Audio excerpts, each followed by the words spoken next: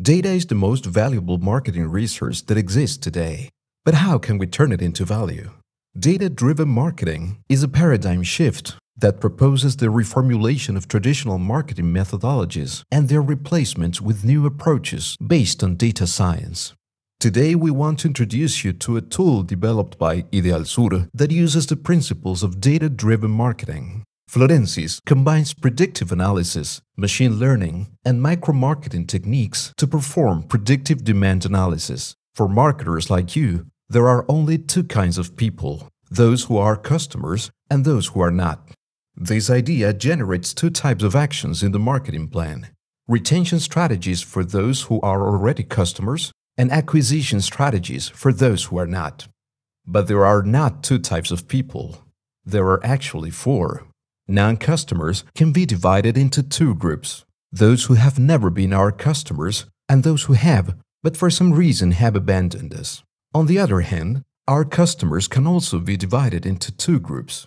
On the one hand, there are customers loyal to our brand, and on the other hand, there are those who are now our customers, but who are thinking on abandoning us. Florensys is a predictive demand analysis tool that specializes in detecting which of our customers are in danger of leaving us. The purpose is to generate early alerts so that the company's promotional strategy can be quickly redirected to customers in danger. We call this working model dynamic promotion. Florensys creates predictive models by analyzing the old patterns of those customers who have already abandoned us and uses them to detect similar early behaviors that our current customers are manifesting.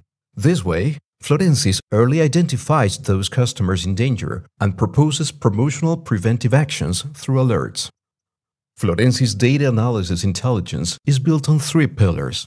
Pillar 1 Segmentation Matrix Florensys clustering matrix is behaviorally based. It uses machine learning algorithms to segment customers by affinity. And it is dynamically based. This is, it recalculates clusters each time new information is received. Florensys behaviorally based matrix is easy to interpret.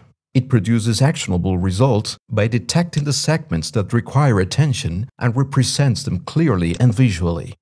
The migratory analysis of the segments is a vast and intuitive way to detect changes in behavior and qualify them. Pillar 2 Churning Rate Calculation Customers do not notify us when they are going to abandon us. Many times, they make the decision in silence and take their time to execute it. But even if the customer does not express it, after deciding to leave us, their behavior leaves certain clues. If we analyze the data and manage to detect it, we can act early to try to retain them. The churn rate is a KPI that measures the volatility of a target. It estimates the probability that a customer will leave us in a given period of time.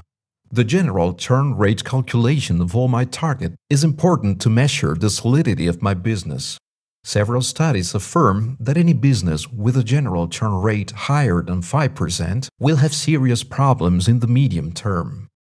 On the other hand, predicting the individual churn rates of each customer helps us to dynamically reassign promotional efforts on those who are more likely to abandon us.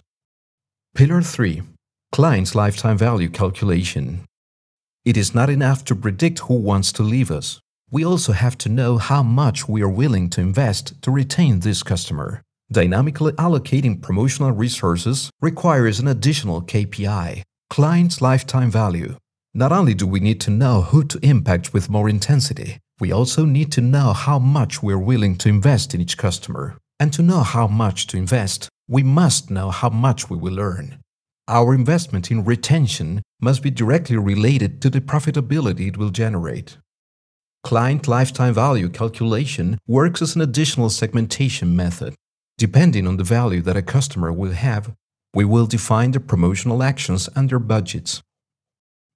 Summarizing, Florensys' three pillars are clustering matrix, churn rates calculation, and client lifetime value estimation. The three pillars allow migrating from a static promotion model to a dynamic promotion model.